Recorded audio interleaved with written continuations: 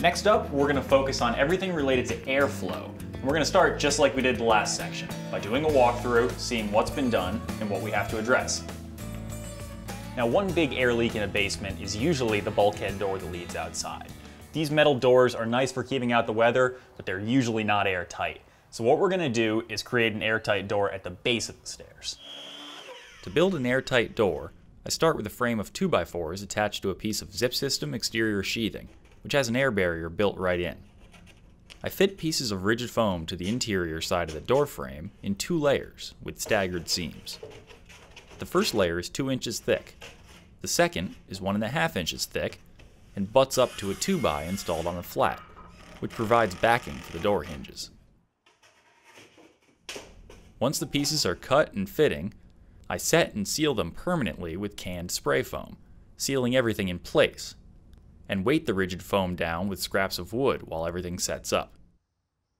While the foam sets up, I install a site-made door frame, which is assembled from 2x6 pressure-treated lumber and has door stops with conventional kerf-in weather strips to block airflow.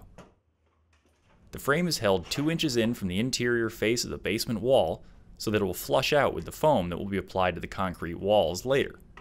Then I plumb it, level, shim, and fasten wherever possible. In this case, to the joists above, as well as to the wall on one side, before being locked in with more spray foam. Chances are that the time spent installing the frame will have been long enough for the spray foam on the door to harden up. Well, you can see that some of the spray foam is expanded up past the surface, and we want to clean that up. Now, sh I should note that this is on purpose. I left these gaps between the rigid foam and the framing a little bit wide so that I could fit my spray foam in there, and I put in enough that it would expand up. Now I'm going to come back with this, which is just a notched trowel, and I'm going to use this as kind of a flush cutting saw to trim off the excess. Once trimmed, the door can be set into the opening, attached with heavy-duty hinges, and held closed with your choice of latch.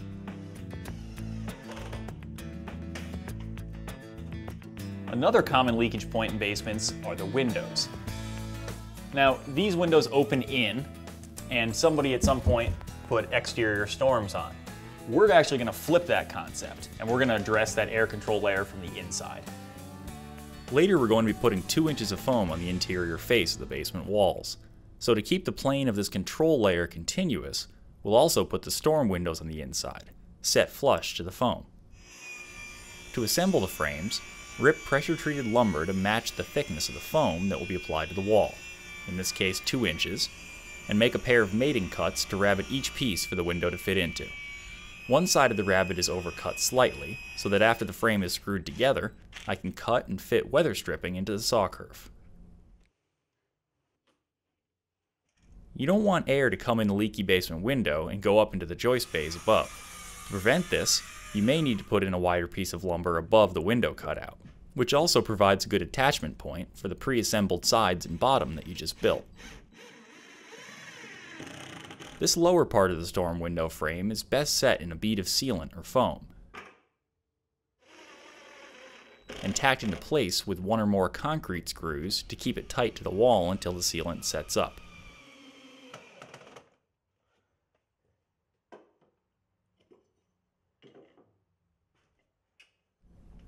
Be sure to also seal gaps around the frame, again, either with sealant or foam, to ensure there's no short circuits of airflow undermining all of this careful work.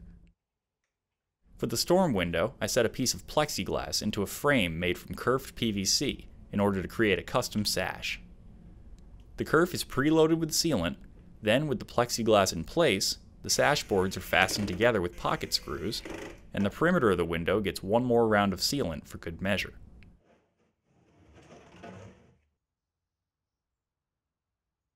The finished window is set into place against the weather-stripped window stops and held in place with storm door hardware.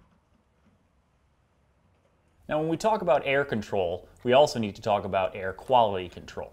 And a lot of times in a basement, that means dealing with radon gas coming up through the slab. What you can get is one of these little test kits from your local home center.